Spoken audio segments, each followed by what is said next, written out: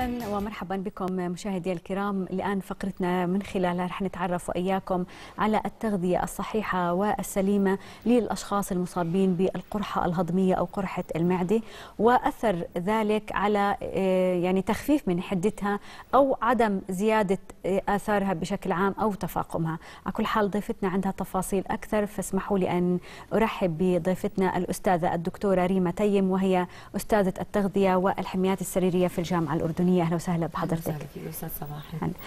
دكتورة اذا القرحة الهضمية أو قرحة المعدة بشكل عام يعني قبل ما نوصل لموضوع التغذية حابة بس من حضرتك تعريف شو هي القرحة وإيش أسباب حدوثها من فضلك؟ هلأ بداية هي القرحة الهضمية بتشمل نوعين قرحة معدية اللي بتكون بالمعدة وقرحة الاثنى عشر. نعم. هلأ القرحة سببها أحيانا بيبقى يعني أسباب كثيره بس أهم شيء إنه هاي الأسباب تؤدي إلى زي عملية تحرش الخلايا نفسها بيصير فيها الاتش سي ال أو الحامض اللي بتفرزه المعدة بيزيد. هذا الحامض لما بيزيد بيعمل زي تخديش على الخلايا. التخديش هذا بيصير زي جروح. الجروح تتحول لقرحة والقرحة ممكن تتحول لفتحة والفتحة ممكن تتحول لا سمح الله لسرطان إذا لم يتم والتهاب معدة إذا لم يتم السيطرة عليها سواء 12 أو معدة. هلا الأسباب تبعتها عديدة. أهم أسبابها اللي هو الناس اللي بتاخذ الأدوية المسكنات اللي هي زي نوع البروفين أو الاسبرين على معدة فاضية. هذا بيزيد يعني هو كعمل بي يعني بيزيد من إفراز الاتش سي ال أو حمض الهيدروكلوريك اللي موجود بالمعدة. بشكل طبيعي بيكون موجود عشان هضم البروتينات وهضم الأكل اللي إحنا بناكله. هلأ إذا أخذنا هاي الأدوية على معدة فاضية بيبدأ إفرازه فلأنه فيش أكل يمتص هذا الحمض بصير جدار المعدة يتآكل.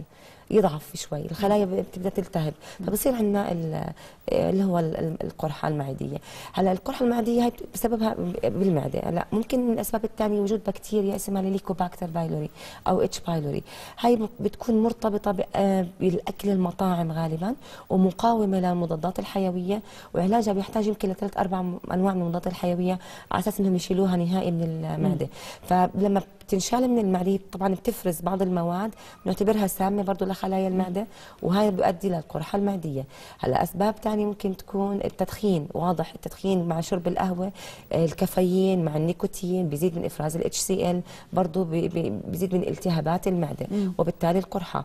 شرب الكحول بشكل مبالغ فيه برضه إحنا بنعرف إنه هو محرم لكن للناس اللي بتشرب برضه شرب الكحول أول ما بيتم امتصاصه بيتم امتصاص الكحول من المعدة بقية العناصر الغذائية بالجهاز الهضمي السفلي اللي هو الأمعاء. لكن الكحول بالذات يمتص مباشره من المعدة فالامتصاص هذا بيأثر على الخلايا نفسها. آه عندنا الضغوط النفسية المستمرة. آه دائما في ضغوط دائما في ضغوط. هذا بيؤدي برضه لأنه زيادة بإفرازات المعدة زيادة إفرازات المعدة على معدة فاضية بيعمل التحرش أو التحريش اللي بيصير على الخلايا والتهاباتها.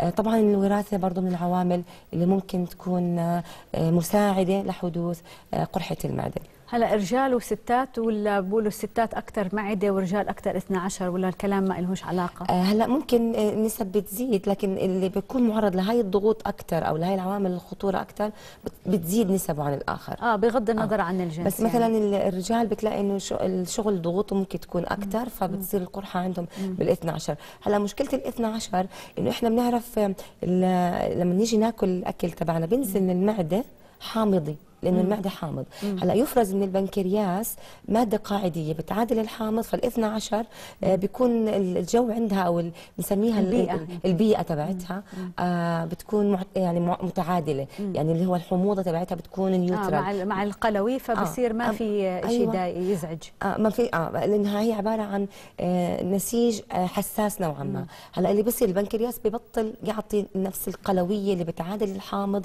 اللي نازل من المعدة أو الحموضة اللي بالمعدة أعلى من قدرة البنكرياس على معادلة الحموضة فبصير قرحة ال 12 أكثر نعم. فعشان هيك الأسباب يمكن تكون شوي مختلفة لكن في أشياء متشاركة مع بعض كعوامل خطورة. نعم. طيب دكتورة هلأ موضوع ال ال 12 وال وال والمعدة. هلا الاثنين بالجهاز الهضمي. مزبوط. بس في اختلاف يمكن أه. صح؟ آه مزبوط. شو الاختلاف يعني هلا؟ من نواحي تغذويه الاختلاف كعلاج يمكن الاثنين بياخذوا نفس العلاج لكن ك آه، بنقول عوارض أو أعراض. آه، المعدة بتعمل نقصان بالوزن. ال 12 ممكن يزيد الوزن. هلا ال 12 ليش المعدة؟ لأنه الواحد بطل ياكل؟ أها. لأنه كل ما بياكل الشخص معدته بتحرقه بصير يعني زي قرصات وحرقة وما بيقدرش يكمل وبحس وجع بظهره وبصدره فبصير يعني يكره الأكل نتيجة إنه بس آكل حيصير عندي هاي الأعراض. فبتجنبها. واحيانا بصير في استفراغ في غثيان في استفراغ حتى بنقول زي حب زي حبات ال- القهوة المطحونة إذا كان القرحة بالمعدة. وبيكون آه، في براز آه، غامق اللون الدم بينزل فيه إذا كانت 12 فهي من الأشياء اللي ممكن يفرقوها ال 12 عن ال- المعدة. طيب. هلأ بال 12 بس آه لما بيجي بياكل المريض بيرتاح. فبالتالي ممكن 12 تؤدي لزيادة بسيطة بالوزن لأنه كل ما باكل برتاح بخفف الحموضة هاي فبرتاح شوي. بالمعدة لا كل ما باكل بتزيد الحموضة لأنه بزيد إفراز ال- الحامض اللي حكينا عنه وبصير تعرض الحامض للخلايا الملتهبة أكثر فبتصير الأعراض بشكل أسوأ. فعشان هيك أنا ما بمتنع عن الأكل فبصير نقصان بالوزن. طيب دكتورة هلا موضوع إنه الواحد ينصاب ب آه، بقرحة مش موضوع سهل. آه، أكيد كل واحد بيسعى لعلاجها أكيد في آه، أطباء متخصصين في موضوع الجهاز الهضمي بالتعامل معها. لكن في أشخاص آه، كمان بيلجأوا لموضوع أنه كيف ممكن الغذاء يأثر على عدم الإصابة فيها أو إذا الواحد مصاب فيها كيف ممكن يكون الآثار السلبية أخف أو الآثار الجانبية أخف وأيضا يمنع تفاقمها في المعدة. مزبوط. هلأ في بس كبدايه نحن نحكي في أسباب أساسية إذا كان اللي عنده قرحة بيمارسها لازم يبتعد عنها. أول شيء التدخين. لازم. إذا بيدخن صار عنده قرحة كل ما بدخن الحمض بيزيد وموضوع الالتهاب بيزيد. إذا بيشرب كحول بده يتوقف. إذا بياخذ الأدوية زي الأسبرين والآيبوبروفين وهي الشغلات اللي بت- بتزيد من إفراز برضه الحمض وبتأثر على ال- المعدة أو على 12 بده يتوقف عنها ويشوف بديل مع الدكتور تبعه. فهي العوامل إحنا هي اللي هي المحيطة فينا أو اللي هلا بس في أسماء دكتورة يعني أدوية أسماء تجارية مختلفة بس هي نفس التركيبة نفس التركيبة اللي هي ال- الايبوبروفين أو آه. البروفين بسموها. أو بسموها هم بالإنجليزي non-steroidal anti-inflammatory مزبوط، اللي هي زي المسكنات، معظمها مسكنات أو مسكنات. قوية. آه بيبقى يعني مع الدكتور عارفها فاذا يعني الشخص هذا عنده قرحة يقول للدكتور ان أنا عندي قرحة هل المسكن هذا بيأثر على القرحة ولا لا؟ لأنه هدول بي- بيعملوا الحالة أسوأ عند المريض. هلأ من نواحي تغذوية طبعا في أشياء مشتركة عند معظم مرضى القرحة سواء ال 12. أو القرحة المعدية أو بشكل عام يعني القرحة الهضمية.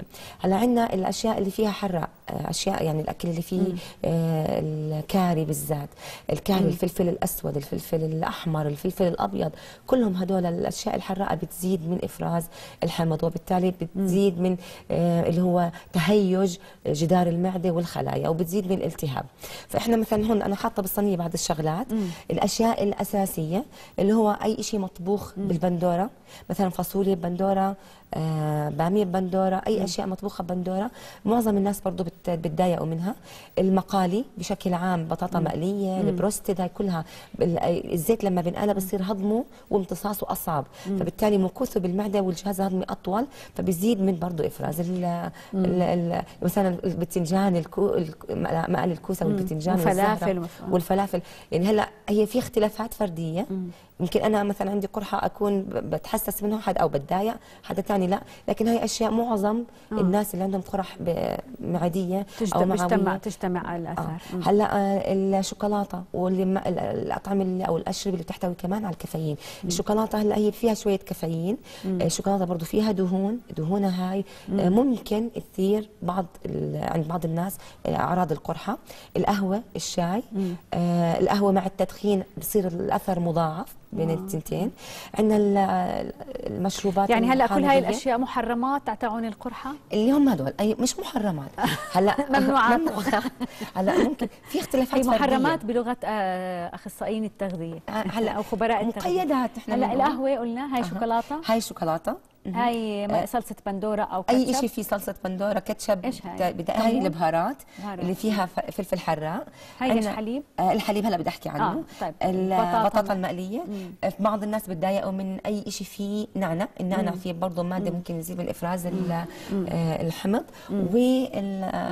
والفواكه حامضيه آه، عصير البرتقال أحيانا عصير الجريب فروت عصير هاي الشغلات كلها. يعني كل هدول آه بيأثروا أشياء بشكل سلبية. آه بشكل سلبي. طيب هلا خيار وطحينيه ضل هلا الخير الطحينيه هذول آه، على بخليهم طيب. هذول الأشياء ممكن نخفف فيهم القرحة. يعني هلا من الممارسات هم مش معمول عليهم دراسة. آه، علمية واضحة. لكن بعض الناس اذا إذا مثلا بياكلوا خيار بحسوا بارتياح ممكن الخيار بشوي آه، بيمتص الحموضة هاي اللي موجودة بالمعدة. آه، أحيانا ال- ال- الطحينه لما بياخذها بتعمل زي طبقة عازلة ما بين الحمض وما بين جدار المعدة. فبتخفف برضه أول ما ياخذها سواء اللي عنده التهاب بالمريء في اللي هو الارتداد المعوي المريئي بصير أو اللي عنده التهاب بالمعدة بس ياخذها بحس آه بارتياح. بتشكل عازل ما بين المادة الحامضية. أها. والجدار, والجدار. أو الخلايا صح. الملتهبه هلأ بدنا- بتلزق هي شوي أها. بسقف أيوه بتنزل صح. بشكل تدريجي هلا بدنا معلقة كبيرة بس ندير بالنا انه هي فيها سعرات يعني نعم. أم، يعني هي بالأخير زيت نعم. آه، في برضه اللوز بعض الأحيان الناس بتقول لك إذا باكل لوز ناشف آه، اللي هو اللي قبل ما نسلقه ونقشره ونقليه. آه الرو ال- آه اللي هو ال- الني. آه بيساعد برضو على امتصاص هاي العصارة وبخفف آه منها. هاي بعض الممارسات اللي ممكن تساعد في التخفيف. هلأ هاي ممارسات إحنا شفناها على ناس على مرضى لكن لم آه، يعمل عليها دراسة علمية. فهو لا البني آدم يعني من تجربة. هلأ مزبوط في ناس كثير وأنا واحدة منهم جربت موضوع الخس والخيار إذا بصيبك حرقة مثلا كثير بيريحوا. مزبوط. آه بس يمكن مع غيرك ما تزبط بس هي بشكل عام زبطت مع أكثر من شخص إنها فيها مادة بتهدي الحرقة وبتهدي أو بتريح المعدة. آه، هلأ كمان في شغلة إحنا دائما بنقول في قائمة نعم، نعم. لمرضى القرحة المعوية بده يشوف آه، بنسميها trial and error هذا والله الإشي بتعبني سبانخ. هذا آه، مثلا في ناس كثير تتعب من السبانخ في ناس تتعب لأنه السبانخ نوعا ما برضه حامضي. آه، في ناس تتعب من البطيخ لما بتاكله. فهو هاي مش أشياء عامة لكن ممكن تحدث عند بعض الناس. بدنا إحنا كل واحد يشوف شو طبيعة الأكل اللي. بضايقه وشو- شو آه، بيريحه. ويحاول والحليب، طب ضل. الحليب حتى. الحليب. آه، الحليب هلا آه، في كثير ممارسات إنه بس ناخذ الحليب آه بخفف شوي. نعم. هلا بخفف أولها لكن بترجع القرحة بتزيد لأنه الحليب بيحتوي على كالسيوم. الكالسيوم بيعادل حموضة المعده لكن الاحماض الأمينية موجودة فيه البروتينات بتزيد من إفراز ال- الحمض لاحقا وبتزيد ال- نعم. المعده آخر نقطة. بس إنه لما ناكل ناكل وإحنا قاعدين آه ناكل بجو هادي وما نتمددش أو ما ننامش آه إلا بعد بساعتين من الأكل لأنه هذا كله بيزيد من إفراز الحوامض. نعم. شكرا دكتورة. وحلو الواحد يفهم مرضه ويفهم كيف يتعامل معه أكيد. حتى ما يعني يأذي أنا بدي أشكر حضرتك الأستاذة الدكتورة ريما تيم. شكرا. جزيلا شكراً لحضرتك ولكل اللي عندهم قرحة في المعدة.